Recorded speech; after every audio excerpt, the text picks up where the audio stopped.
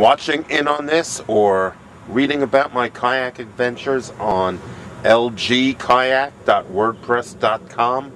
You can go there to see all my kayak trips, as boring as they all are. And here is another such trip, but it is a beautiful morning on October 23rd, 2010.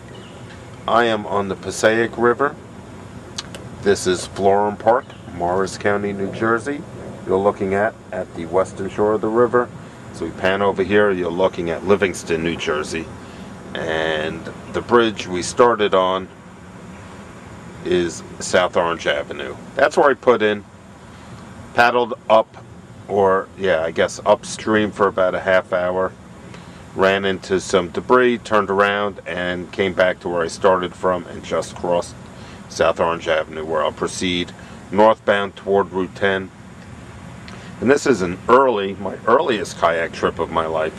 Saturday morning trip solo. A little cold this morning in October, but it's really nice. Hoping to get some nice photographs. You can see the beautiful colors out here. Really is a beautiful place. And so I figured we'd just check in here. You could really see what this world looks like here on the Passaic River that I've been paddling up and down and uh, don't know if I'll be doing too much videotaping today. Clouds are coming over, which is kind of disappointing. I was hoping for some early morning sun. Did have some, but it does provide me with an opportunity to get some good photos. As you can see, the water is pretty cool, calm.